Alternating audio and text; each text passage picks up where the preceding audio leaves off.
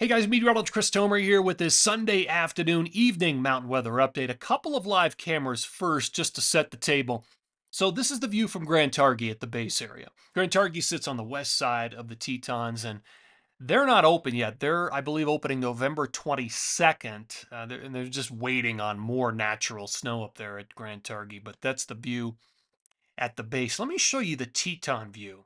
And you'll notice it is kind of cloudy. There's a tiny little sliver of precip, a little energy kind of moving through the northern tier. I'll show it to you on radar, but I love this view. You can see the Grand there and Middle Teton, uh, just a great view from the west side on that Teton view. That's actually the view from Idaho. Let me take you into the Wasatch. So this is uh, Solitude. There's Honeycomb Canyon. What a beautiful day up there in the Wasatch. Oh, and I should mention Tetons, you have new snow coming with this cold front on 11 12. And that holds true for the Wasatch as well. It's dry now, uh, but the next shot of snow is on 11 12 for both the Tetons and the Wasatch. And um, let me show you radar right now. So the next real storm system is just now moving into the uh, the Pacific Northwest and BC. You can see some of the rain showing up on radar. Also notice through Idaho, just a tiny little bit of precip. That's what is what's creating that cloud cover across the Tetons right now. That's largely going to slide through with little to no impact. So really, it's what's happening up in the Pacific Northwest. Let me uh, give you the lay of the land here. This is the the water vapor satellite imagery. So on this, the moisture loft is in the whites and the blues, and there's that tiny little area of precip. This is the real storm system. This is what's directing traffic right now. And it's got a lot of jet support, big trough with it. It's going to send out some energy out ahead of it, and that'll become the front that dives down through Idaho, hits the uh, the Wasatch, the Tetons, and then eventually Colorado. So Tetons, Wasatch 11, 12, and then 11, 12, 11, 13 in Colorado. There's also another low behind it.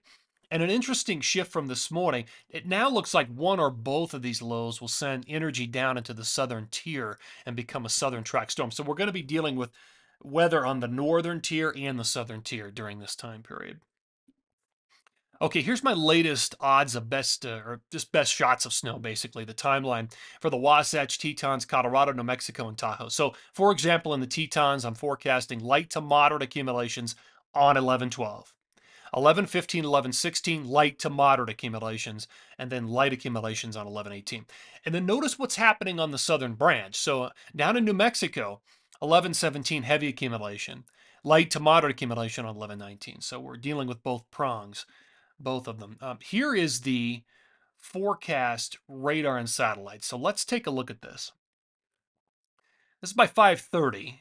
Um, you can see a tiny little area precip up in the northern tier. That basically evaporates. It's all about this storm system right here. So this is 1111 in the afternoon. Notice uh, that front, that energy actually does brush Shasta and parts of Tahoe. And then that's going to move through the interior into Idaho. And notice BC's on, getting in on the action as well.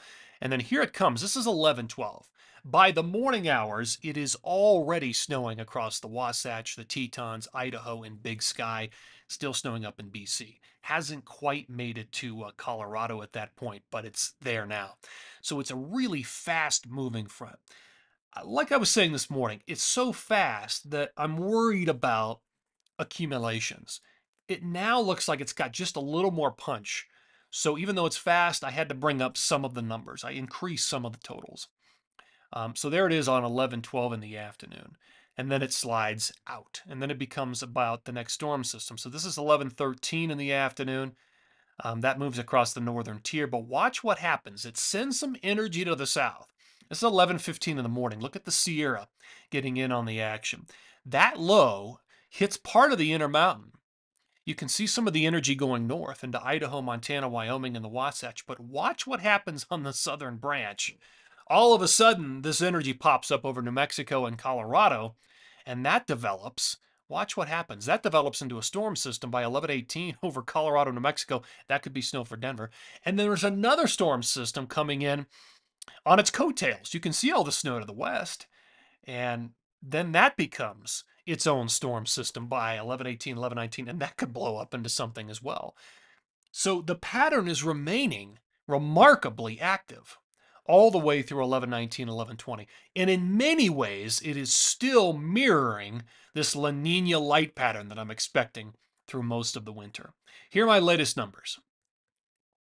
So, rest of today through tomorrow, light accumulations for the Sierra Northern Tier. The best accumulations are up in parts of BC, along the coastal range, Baker, uh, up to Whistler. Second time period is very active. There's a lot of caveats with this. A lot of the numbers have gone up because now we're dealing with now the southern branch becomes more active. Uh, and not only that, but let me just explain from start to finish. So this is 11 12 to 11 19. First, you have that cold front on 11 12. That's a little bit stronger. Now, I bumped up some of the numbers. So, you know, the numbers you see in the Wasatch of a foot or more, that's because we're looking at two or three different events accumulating to that, uh, those numbers. It doesn't all happen at once. Tetons, numbers are up 8 to 14 there through Big Sky, northwest Montana. Anyone purple's a foot or more. In Colorado, you're going to see light accumulations with this cold front on 11, 12, 13. Then bigger numbers come from the southern track storm system, both of them from like 11, 17, 18, and 19. That's where the bulk of the accumulation happens in Colorado and northern New Mexico. Uh, in the Sierra, again, there's a couple different events that accumulate to those numbers, but big stuff for the Pacific Northwest and BC. That hasn't changed. I'm still expecting one, two, three, maybe even four feet of snow in some places. Interior BC does very well less snow as you drop down into the Banff area. And I like what I'm seeing still for a lot of central to northern Idaho. Looking good there with potentially 8 to 14, maybe 8 to 16 inches of uh, snow accumulation. All right, guys, that's going to do it for the Sunday afternoon, evening mountain weather update. Appreciate you tuning in here. Take care.